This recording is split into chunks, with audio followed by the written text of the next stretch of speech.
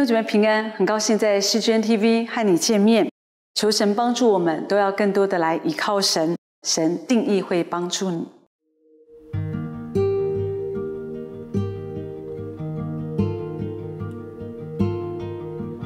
诗诗记二十章十七到二十八节，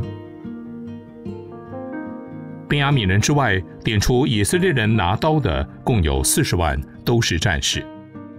以色列人就起来到伯特利去求问神说：“我们中间谁当首先上去与便雅悯人征战呢？”耶和华说：“犹大当先上去。”以色列人早晨起来，对着基比亚安营。以色列人出来要与便雅悯人打仗，就在基比亚前摆阵。便雅悯人就从基比亚出来。当日杀死以色列人二万二千，以色列人彼此奋勇，仍在头一日摆阵的地方又摆阵。为摆阵之先，以色列人上去，在耶和华面前哭嚎，直到晚上，求问耶和华说：“我们再去与我们弟兄便雅米人打仗，可以不可以？”耶和华说：“可以上去攻击他们。”第二日，以色列人就上前攻击便雅悯人。便雅悯人也在这日从基比亚出来与以色列人接战，又杀死他们一万八千，都是拿刀的。以色列众人就上到伯特利，坐在耶和华面前哭嚎。当日进食，直到晚上，又在耶和华面前献燔祭和平安祭。那时，神的约柜在那里。亚伦的孙子以利亚撒的儿子菲尼哈侍立在约柜前。以色列人问耶和华说：“我们当再出去与我们弟兄便雅悯人打仗呢，还是罢兵呢？”耶和华说：“你们当上去，因为明日我必将他们交在你们手中。”在这章的十七节提到说。便雅悯人之外的，好点出以色列人可以出兵打仗的，大概有四十万人左右。好，那当然我们也可以看见，好，那虽然啊是这样的人数很众多，可是前两次的战争，他们还是败在便雅悯的手中。十八节提到他们来到伯利啊伯特利去问神说：“那我们要打仗了，那我们谁应该先上去跟便雅悯人来交战？”那神就说：“哦，犹大应该先上去。”好，这样。那我们我们了解，这里提到去伯特利来求问神。哈，伯特利是存放约柜跟祭司公职的地方。当以色列人进迦南之后，那会幕就先后的放在事件伯特利跟示罗。那犹大主说犹大要首先进攻，因为他们很会打仗，很会打仗。那伯特利，我们记得这个地方说的是亚伯拉罕在第一次他在这里足坛，也是雅各啊，他遇见神，看见神的石子，好在梯子上上去下来的地方。所以伯特利作为宗教中心，其实是很备受瞩目的。只是说在这一章十八到二十八节，我们可以看见神给以色列人的教训，讲到他们跟神之间的关系，神是他们的王，是他们的主，可是宣战是神的事。他们不能够啊，自己决定了以后，才好像才让神去执行。那其实这个先后次序是错的。好，那他们是先已经决定了，然后就问神，直接告诉神，神应该先去打这样子。所以我们可以看见，他们是自己的意志，他们非常坚定的，他们决定要去攻打便雅悯。所以他们来到神的面前，而且对他们来讲，他们认为我们一定会打胜的，因为我们人这么多。只是说，事实让我们看见，当他们第一次失败以后，他们在神面前哭嚎，他们怀疑自己是不是应该再上去打这个便雅悯。那第二天又失败了，好，他们第二天失败，他们就哭一样，进食到晚上，向神献上燔祭跟平安祭，甚至他们在想，我们是不是应该就不要打了，就罢兵了？好，那我觉得在这样子的一个事件当中。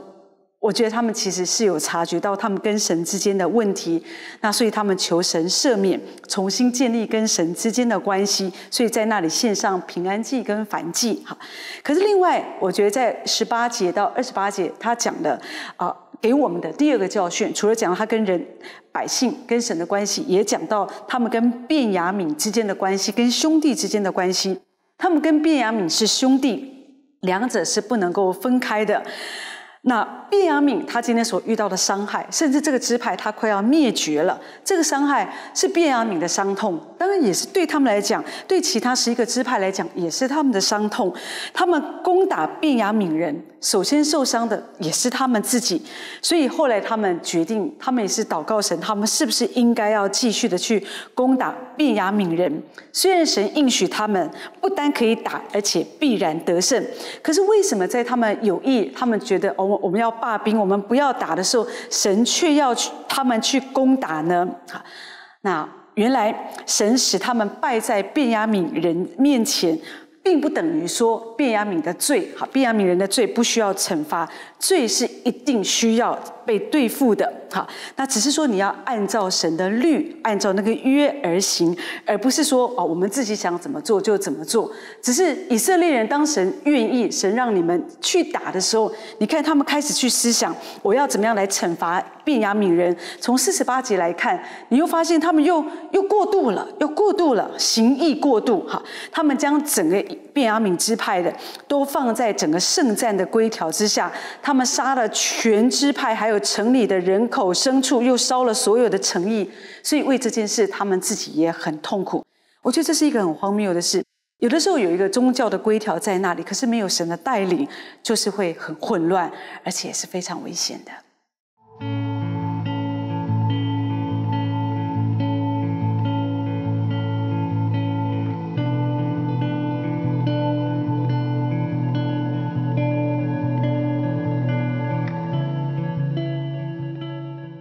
十九节，我们看见便雅悯人因为占尽地理优势，而且他们很会打仗，所以呢，两次他们都得胜了。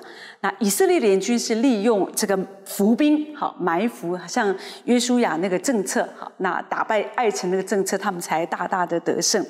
那我们看见便雅悯他啊，在这个战役当中，以色列人好，他以色列联军被便雅悯支派击败。联军的兵力其实是便雅敏支派的十五倍，可是他们会这样的失败，我自己觉得有主要的原因啊，讲的是以色列联军虽然是神所使用审判的工具，借着他们要除去这个罪恶，可是他们也要为着手足相残这个巨大的悲剧，他们负上责任跟悔改，因为他们过度了，他们过度了，而且我们也看见便雅敏支派的士兵，好。他们，他们为什么他们这么这么这两次的战争，他们大大的得胜？有时候我我我觉得，因为他们有强烈的危机感，所以呢，他们就就决一死战，他们就用上他们最最强大的力量。可是相反的，联军他们觉得他们人很多，所以也许他们就是轻敌。所以在这两次战役当中，我们看见他们都失败。那从二十二节，我们也到二十三节，我们都可以看见，当他们失败的时候，联军失败的时候，他们就来到神的面前。这里说他们就在主的面前哭泣，一直到晚上。所以他们跟主说：“神啊，我们我们去再去攻打便雅悯人，可不可以？”好，主说可以，你们可以去攻打他。所以第二天再去攻打的时候，我们发现他们又失败了，他们又失败了，又被这个便雅悯人歼灭了一万八千人哈。所以其实在这个连续接连的这样的一个失败，我觉得对啊以色列啊这个联军来讲，我觉得对他们也是也是。不容易的，但是他们这个时候，他们就谦卑自己，他们来到神的面前，他们哭嚎，直到晚上。可是我觉得在这里二十三节，我自己觉得他们不完全是出于悔改，而是有一点有一点埋怨，因为他们觉得为什么神你是你说我们可以再打，可是你还是让我们失败哈？那我我我个人比较觉得说，神有的时候。为了让神的百姓达到自己期望的境界，有的时候也会让我们经历有一些啊失败跟挫折。那当然，神不是不会对付罪，所以在第三次的时候，神让他们再出兵，而且大大的得胜。只是我觉得二十六节很有意思的是。他们失败之后，他们来到神的面前，来到伯特利，坐在神的面前哭嚎，然后进食直到晚上，而且在神的面前献上燔祭跟平安祭。我觉得经过了两次的挫折，好像他们谦卑下来，他们这次真的来求问神，而且献上凡祭跟平安祭，说的是他们要向神认罪，要跟神和好。经过再三的失败，他们开始去思想我失败的可能原因，他们开始去省察自己，他们为着自己的骄傲跟顽梗，他们来悔改。之前也许他们很依靠自己的兵力哈，自己的能力，他们也没有好好的寻求神，甚至寻求神只是例行公事。他们没有问神，神我们该不该打？他们一开始就说谁该先上去打，对不对？这就是他们的骄傲。但是这个时候，他们真的谦卑下来了哈。有的时候我们遇见苦难，苦难会会使我们谦卑嘛？就像这些百姓所经过的，圣经上说他们进食直到晚上，当。之前这两连续接连的失败，让他们更加的谦卑。他们决定要单单的倚靠神。你知道，如果他们要倚靠自己，就不要进食，因为进食会使你没有力量。但是呢，他们这一次，他们真的愿意谦卑自己，他们来仰望神。主，你觉得我们要不要？我们要不要再打？所以在二十七到二十八节，我们可以看见。我们可以看见他们在这里求问神，好，我们应不应该再去打，还是我们就停止？这个时候他们愿意，主即使你叫我们不要打，我们都可以不要打了。好，那我觉得他们真的有降服的心。那只是在这个时候，神看见他们心神顾念他们，所以神说：你们只管去，明天我会使你们大大得胜，我会把这些人交在你们的手中。所以谦卑，好，我觉得很重要。虽然有的时候神使用我们成为那个审判的的一个器皿，可是我们一定要明白，我们一定要明白，在整个过程当中，我们还是要这样紧紧的来依靠我们的神，好不好？啊，让我们一起来祷告，求神帮助我们，不管在什么样的境况里面，在困难的环境，我们都要相信神会帮助我们得胜。我们一起祷告。主，我们看见你的作为，主，我们不能够不敬畏你。主，求你帮助我们每一天就是这样单单的来祷告，来依靠你，不是依靠自己的智慧聪明，让我们在生活中可以不断的见证你的奇妙和恩典。奉耶稣的名字祷告，阿门。